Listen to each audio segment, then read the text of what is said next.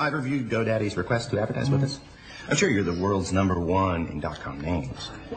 Uh, .com's for just $1.99 with, with free email and free hosting and free, free website included. You know, I get that. I, I do.